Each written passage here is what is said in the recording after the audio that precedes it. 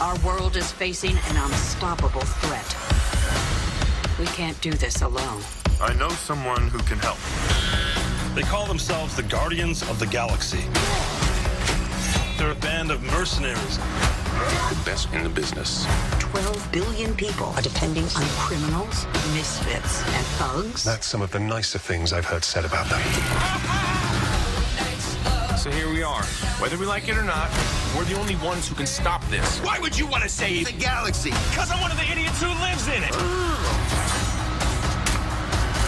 That's a big gun. Oh, yeah.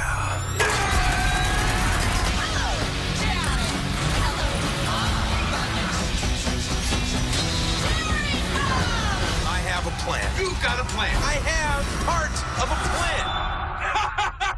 That's a fake laugh. It's real. Guardians of the Galaxy.